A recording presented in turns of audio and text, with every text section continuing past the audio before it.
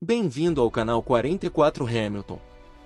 Hamilton sai na P19, luta contra indiferente Mercedes, busca corrida de recuperação, e Norris é pole em Austin.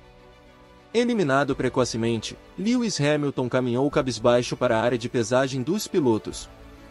Hamilton vai precisar fazer uma corrida de recuperação amanhã, largando da última fila do grid.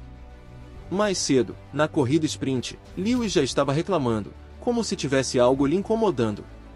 Inclusive, Hamilton, que está com um novo motor, viu seu carro sem velocidade na corrida curta, não conseguindo se aproximar das Ferraris, e pouco depois, de Russell.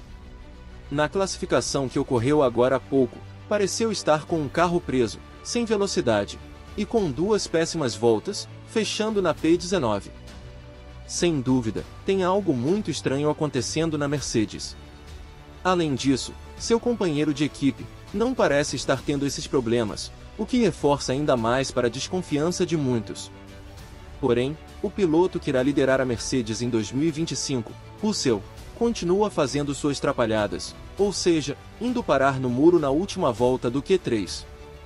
Já Hamilton, certamente irá com a faca nos dentes, como habitualmente faz, para tentar escalar em Austin.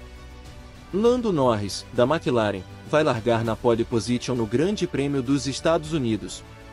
No Q3, Max Verstappen, da Red Bull, ia fazendo a volta mais rápida em sua última tentativa, abortada depois da bandeira amarela trazida pelo acidente de George Russell. Como resultado, Verstappen vai largar em segundo. Foi a sexta pole da temporada de Norris, a sétima da carreira do piloto da McLaren, que segue vivo em busca de Verstappen no Mundial. A Ferrari vai largar na segunda fila com Carlos Sainz e Charles Leclerc, respectivamente.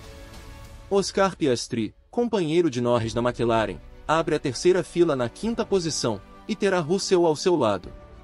A Fórmula 1 retorna amanhã sábado, no Circuito das Américas, em Austin, Texas, Estados Unidos, com a largada para a corrida, às 16 horas, horário de Brasília.